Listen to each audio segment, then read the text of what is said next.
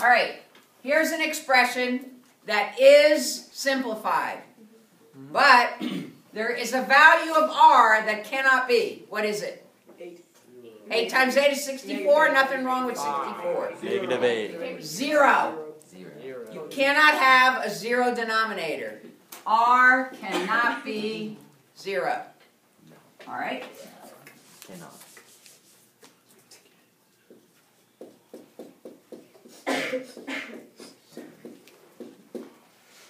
Now, this is not simplified. What do you think I can do to simplify it?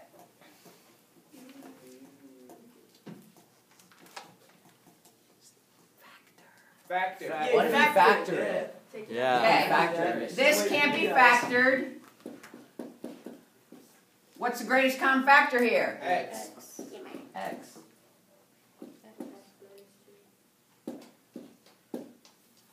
Can I do anything now? Wow. I don't know, Miss Sunny. Teach us. Tell me. Can I? Get rid of the X's. Or can I not? X's. It can't be factored. You, s- I knew somebody, I was waiting for someone to say get rid of the X's. Who are the All right. X's? Why can't I do that? Because then it wouldn't be. You have another X in the parentheses. When you have addition, Here's an example. 2 plus 3 over 5 is 5 over 5. Okay? Can I, it's 5 over 5 because, well, here I'll make it harder. That's 5 sixths, correct? Yeah. A lot of kids want to do this. Can't, why can't you do that? Well, that's not. Because it's not 5 sixths. It might be 4. It's not 5 sixths. What is it? It's now 3, it's 1. Oh. And the original fraction was five sixths. So you have to simplify and then You cannot simplify with addition. What about what's the multiplication? Absolutely can. 2 plus 3 over 6 is 5 6, and that's all it can be. Now, 2 times 3 over 6 is 6 over 6, which is 1. Let's say I didn't do 2 times 3 first, and I wanted to simplify first. That's 1, right? Yeah. What's 3 over 3? One. 1. Or I could even do that. I'm still going to get 1. As long as you have expressions multiplied, you can cancel out. But when you have addition, you cannot. And you're going to have to remember that. Because a lot of kids want to cross out uh, letters or, well, variables or numbers that are the same on the top and the bottom, but you can only do it if it was here, I'll just take that off. Now you can do it because that's 9x over x. Final answer 9 over x minus 2. You can cancel with multiplication, you cannot cancel with addition. Now let's go back to the original, okay? How do you find an excluded value? An excluded value can be found by deciding what cannot, eh, what x cannot be. Oh, thanks. What can x not be to make that denominator zero? You cannot have. What could it not be? Can't be zero, and it can't be something else. What, what could x not be? What other number? Can't have a zero denominator. 1 minus 2? Oh, you can have a negative two. You can, or you can have a positive two. It can't be 2 either. You have two things being multiplied. x equals 0, x minus 2 equals 0. Solve for x. Hopefully you can do that in your head. Those are both excluded values. Put them in. If you put a 2 here, what happens? 2 minus 2, 0. 0 times x, 0. You cannot have a zero denominator. So you're going to have to factor. This is all about factoring. Okay. Here, x plus four over x squared plus five x plus six. All right. First of all, you can't cross anything out. What's going on? iPad. You can't cross anything out because this is all a sum. But I can factor the denominator. What factors of 6 give me 5x? X plus two, X plus. X minus 1 and what? X plus two. X plus. X plus two, X That won't give me a positive 5x. X plus two, X plus three. No. You can't have a negative. Oh, yeah. X plus Positive three. positive three. x plus 2, x plus 3. Oh, my God. Okay? Now, what are the excluded values?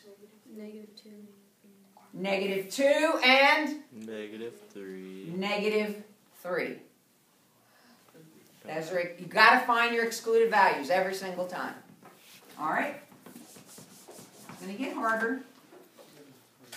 Wait, is all we're doing is finding the excluded values?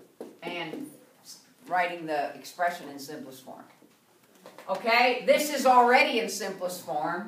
What's the excluded value? Zero. Zero.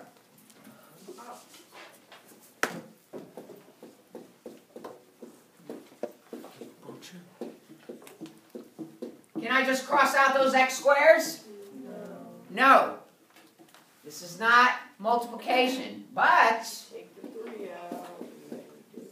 you have a greatest common factor of Three. 3x times x minus 2. Now I can cross one of those x's out. So what happens on top? Four. 4x on the bottom, 3 times x minus 2. When you are looking for the excluded value, you go back to the original. If the original is not factored, you factor it. In other words, go back to this, then factor it. 3x times x minus 2, then set up each factor to 0. What is x here? That's an excluded value. What is x here? 2. Positive 2. That's an excluded value. This is it in simplest form. Excluded value, go back to the original. Yes. So is the excluded value like always the opposite of what's in the parentheses at the very end? It's whatever gives you a zero denominator. Alright. Let's go back and check it. If I put in a zero here, I get 3 times 0, which is 0, minus 0, 0.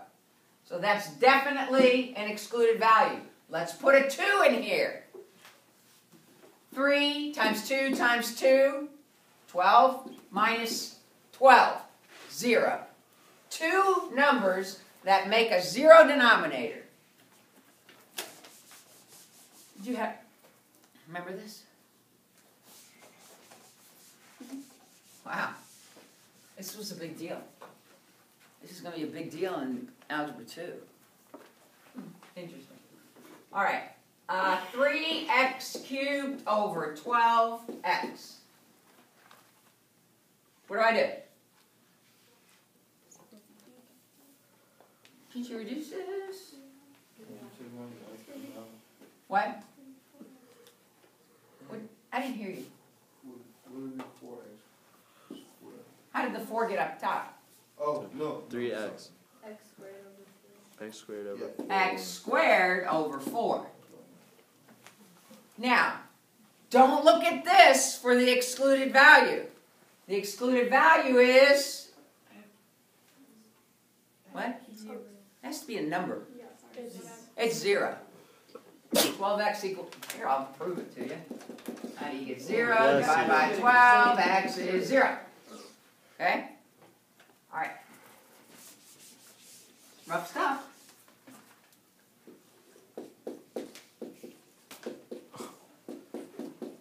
Can I just cross out X's? No. Cross out threes?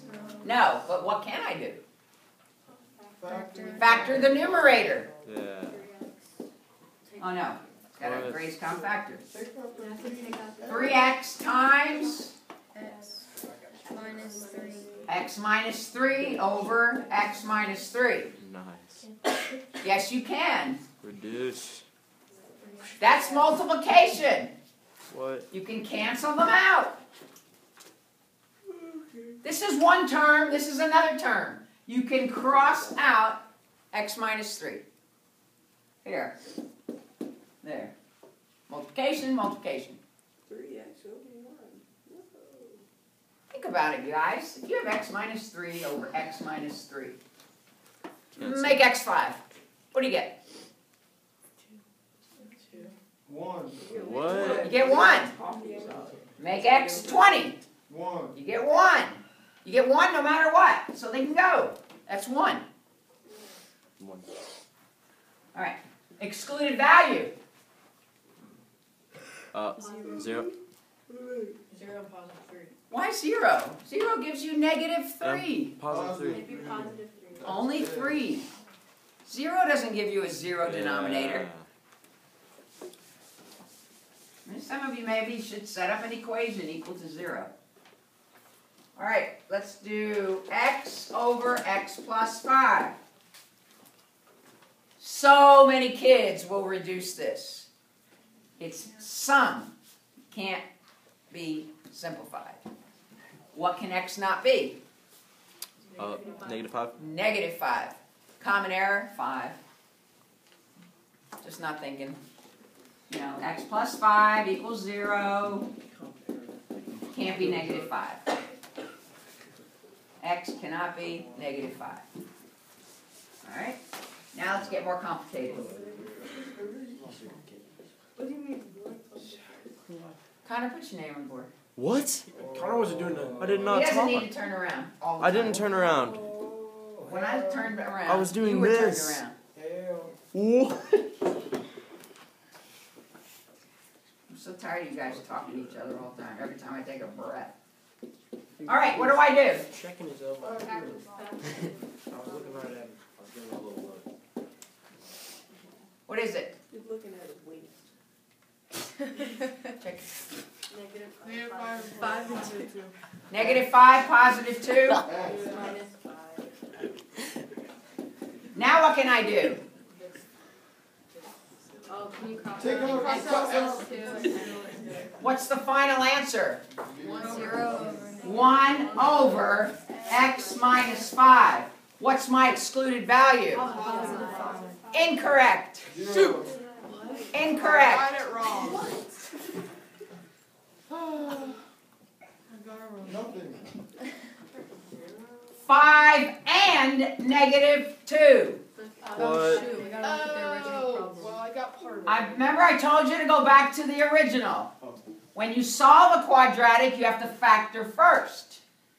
So you factor, and then you set up x minus 5 to 0 and x plus 2 to 0. You can't be 5, it can't be negative 2. Two excluded values. The biggest error is kids just go to the final expression and say excluded value is 5. Incorrect. 5 is certainly half of it, but it's not all of it. All right.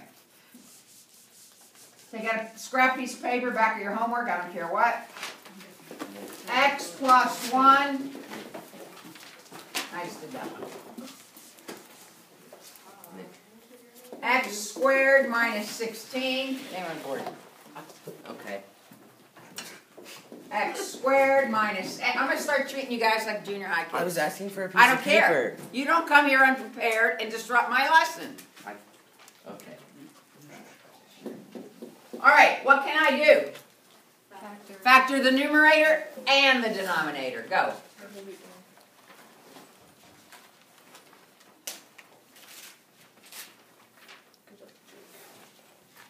Factor the numerator and the denominator.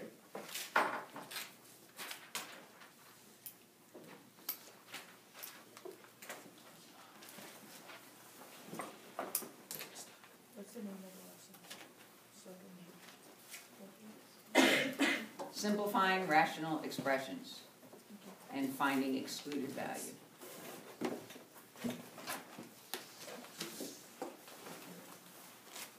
You have two perfect squares up on top. Honestly, if you don't know how to factor by now, you should get online and learn how to factor. Because you can't do anything the rest of the year if you can't factor, and you cannot possibly pass the final without factoring. Okay, Joel, what do I put on top? X minus four, X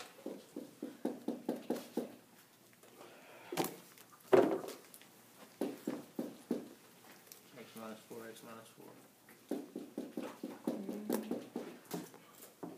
four.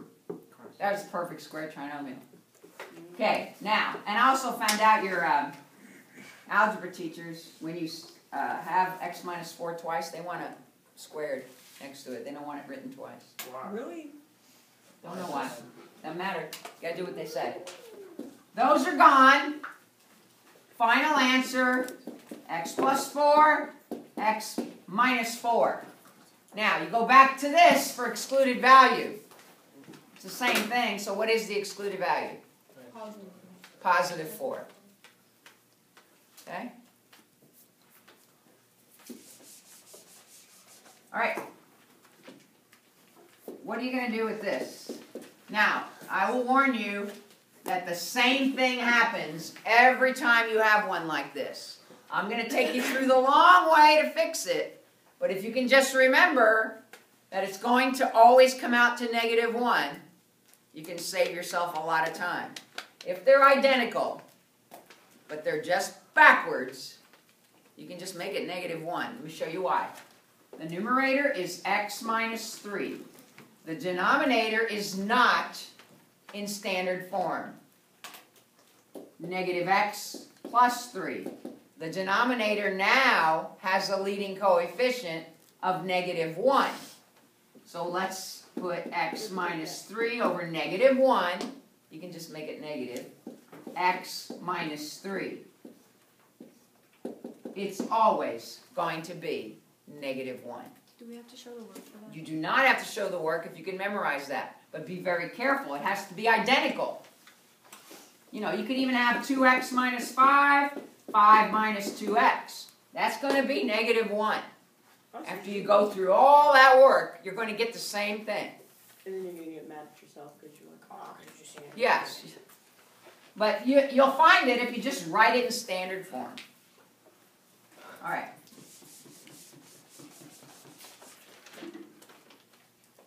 Two x minus ten over.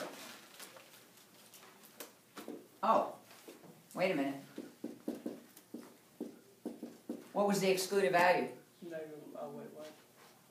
That was the original. It can't be positive already. Three. Okay. You want to forget that. 2x minus 10, 25 minus x squared. Okay, this one's complicated because that's not in standard form. You might want to make it in standard form first. Try to simplify it. They can both be factored after you write them in standard form.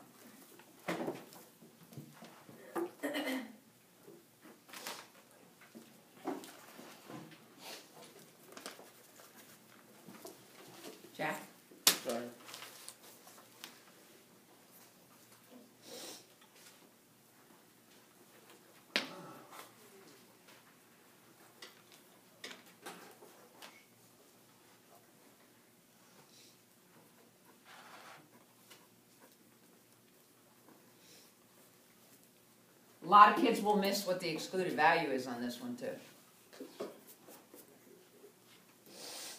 There's two of them. Wowzers. Do you know how to factor?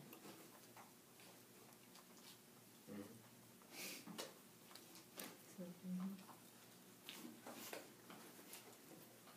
Sam, you factored it already? I think I got it right. I don't know. What's your final answer? Uh, well, I had two parentheses, oh, two, and parentheses x minus five at the top. No. Alright, that's fine. Okay, 2 times x minus 5 is the factored version of that. Yeah, And then let's work on that bottom. That's negative x squared plus twenty-five. Now we have to take out the negative leading coefficient. Two times x minus five over negative x squared minus twenty-five. Now we have the difference of two perfect squares. So we have two times x minus 5 over negative, one's plus, one's minus. x plus 5, x minus 5. Cancel, cancel. Okay, now you have 2 over negative x plus 5. These parentheses are not needed if you put the negative on top. So that's what we want you to do. And put x plus 5. That is the simplified version that will only be accepted for full credit. Now, to go back and get the excluded value, go back to the original equation. Well, it's got an x squared in it, so we got to factor first. So go all the way back to this one. What is the excluded value? Negative 5 and negative 5. 5 here, negative 5 there. Well, let's figure it out. 25 minus 5 times 5, 0. 25 minus negative 5 times negative 5, 0. Negative times negative is positive. Isn't it? yeah, it is, but I'm, I'm sorry. Look. No, I, I know, I just. I know, I know it's too bad.